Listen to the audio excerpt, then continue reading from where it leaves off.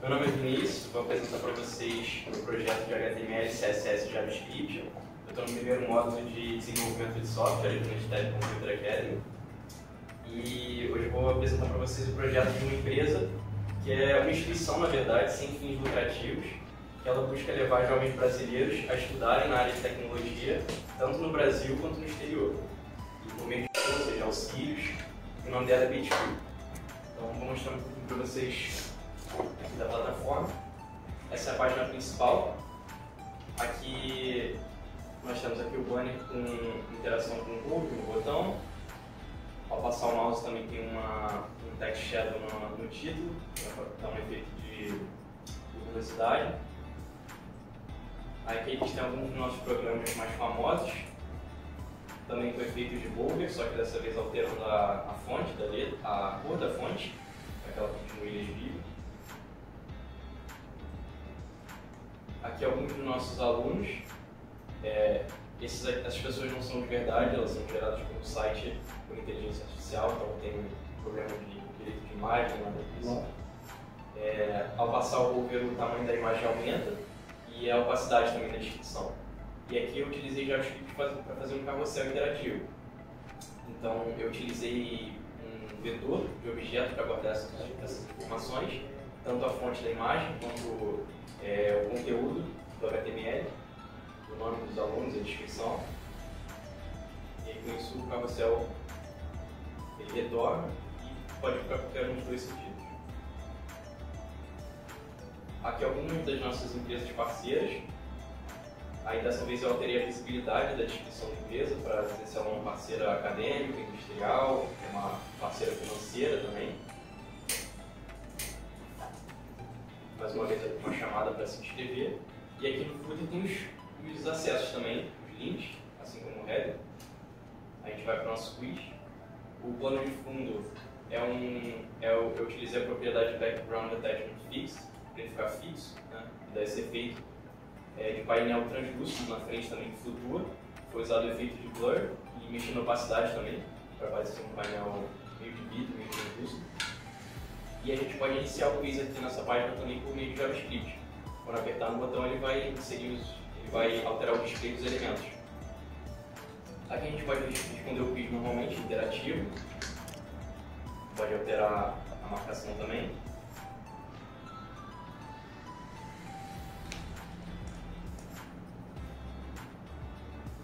Se você tentar enviar o quiz, aqui o retorno do, do plano de fundo, se você tentar enviar o quiz sem é, marcar todas as respostas, vai aparecer um alerta para você preencher. E aí aqui é o último vou marcar uma alternativa incorreta só para a gente ver a interação do programa.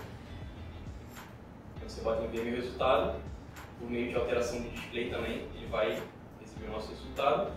É, essa mensagem também é personalizada de acordo com o número de acertos do usuário. E aqui se você quiser ver o gabarito, ele vai mostrar e apagar o botão, a gente acabou de clicar. Se o usuário quiser tentar novamente, é só ele clicar aqui e ele vai ser redirecionado para a página do quiz. Aqui a gente tem uma outra página de Fale Conosco. Quando passo o mouse sobre essa div, gera esse efeito dessa linha. Eu fiz isso com pseudo-elementos usando o seletor de After.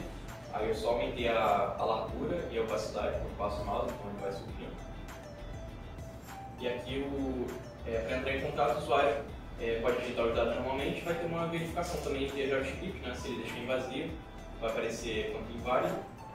Aqui é a mesma coisa e no e-mail, além de ser, ter que ser preenchido, ele tem uma forma correta. Né? Se eu botar sem o arroba e sem o ponto, ele também não valida, mas com arroba e com ponto ele valida. Depois um botão de submit. A gente tem o, formulário geral também, tem mais opções de input.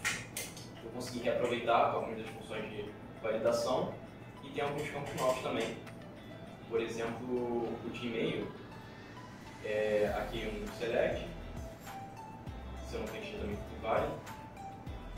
Aqui no e-mail é interessante que ele faz uma validação para confirmar o e-mail do que é o principal meio de contato com a pessoa que está escrevendo.